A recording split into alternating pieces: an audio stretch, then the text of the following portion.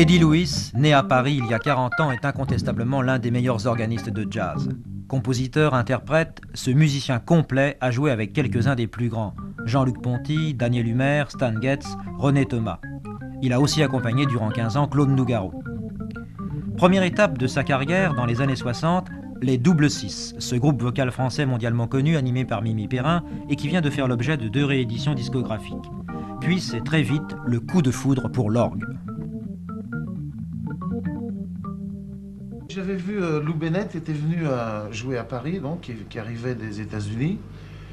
Et puis euh, il m'avait montré, enfin j'étais le voir comme ça, puis j'avais pas d'orgue, bien, sûr, et puis euh, j'avais vu comme ça, moi j'avais jamais touché.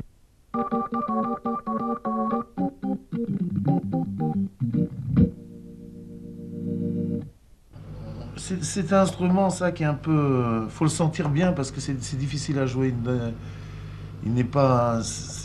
C'est pas comme le piano, c'est. Il y a d'autres choses à combiner, quoi, dans les sons pour que. pour que ça sonne, quoi.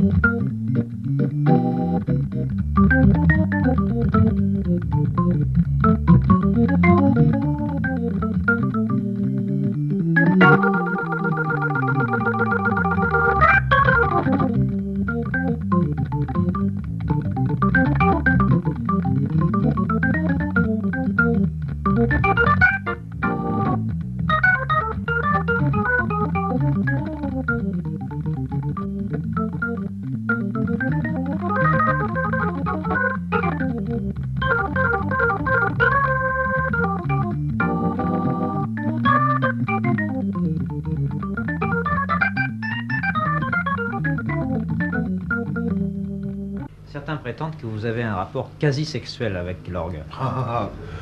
L'orgasme Non, j'aime bien, j'aime bien.